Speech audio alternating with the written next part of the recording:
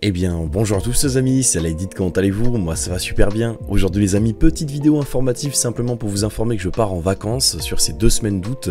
Alors à l'heure où cette vidéo sort, je suis déjà en vacances, j'ai déjà programmé justement des sorties d'épisodes, des sorties de vidéos, notamment sur le let's play d'Assassin's Creed Odyssey. J'espère d'ailleurs que celui-ci vous plaît, n'hésitez pas à aller y faire un petit tour.